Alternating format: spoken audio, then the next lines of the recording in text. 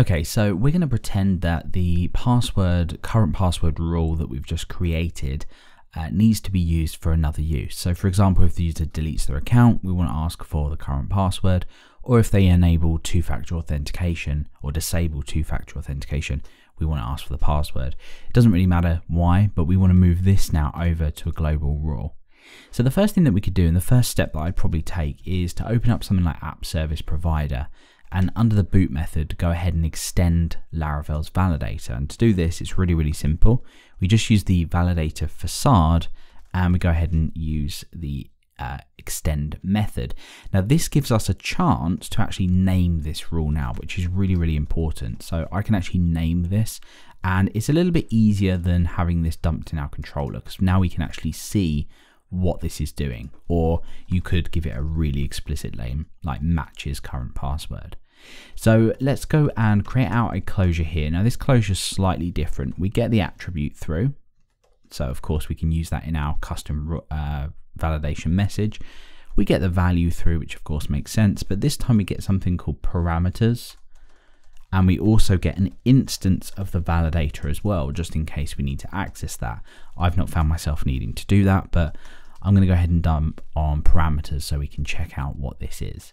So let's come over to our action controller. Let's get rid of this closure and we can pipe these now. We don't have to have them in an array, but I'm just going to go ahead and do this for simplicity. And let's come over to the browser and just check this out. So you'll see that we get dumped here um, a uh, array. Now this is useful if you have a um, validation rule which requires things being passed to it. So let's just say one, two, three. It doesn't really matter what this is or what it does. If I refresh this, you can see we get one, two, three. Now, uh, like I said, that's useful for things like max length, for example, etc., uh, etc. Et but anything after the colon here is going to be included in that parameters list. So at least you know what that is now in case you do need to use that. And like I said, we've got a validator instance here that we can use to access. So in here then, we're just going to do exactly the same thing, but this time it's a truthy check. So we want to return true if this passes, and we want to return false if it doesn't pass. So in our case, it's pretty straightforward. The hash check method returns a boolean, so we can just use this. And we can of course pass the value in. And the question here is, uh, and the problem that's arisen here is, now where do we get the user from? So uh, if you know that you're going to be using this rule whenever a user is signed in, that's great. But what I'd recommend you do is maybe use something like the optional helper just so when we access the user globally, it doesn't fail. So of course from that we're going to access the password. So if you're not aware, the optional helper will return a kind of empty object if this is null and then you uh, trying to access the password attribute on that or the property on that won't fail. So let's go back and check this out now. I'm just going to give that a refresh and you can see that that has failed. If I don't enter it, we get password field as required.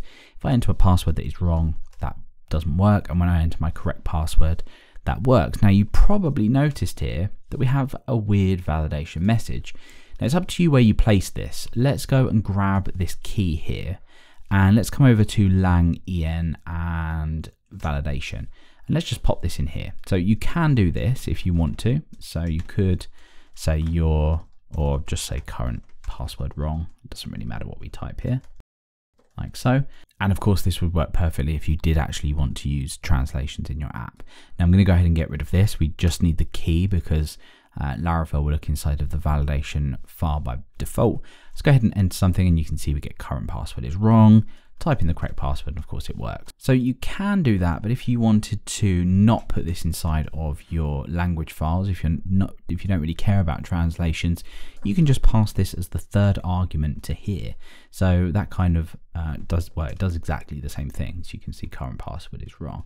So you can type that in there, or if you wanted to, if you really wanted to, you could reference the uh, underscore method, which will go ahead and pluck out a translation, and you could pluck out the translation manually. So you could say validation dot current password or whatever you wanted to. It doesn't really matter.